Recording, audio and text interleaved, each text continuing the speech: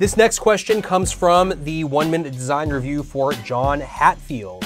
Here we have a question from James McCall 7135 and James asks, can you explain why you'd break that pad into four smaller openings? Now you can see here on screen which pad the question is referencing here you have a central die attach pad on an integrated circuit, and then you can see here in the paste mask layer, we have the paste mask fully open on that pad. A better option is to just use four individual openings for that paste mask. One of the reasons you would want to do that is to prevent that pad from shifting or rotating during reflow soldering. Another reason to do that is because it leaves room around the edges for those vias that you need for that die attach pad so you can heat sink into an internal plane. Another option is to just apply a negative paste mask expansion only to that pad.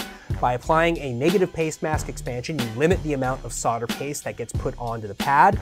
There will be some copper margin around the area where that solder paste is deposited, and then it's going to help prevent or limit the amount of skew that might happen during reflow soldering.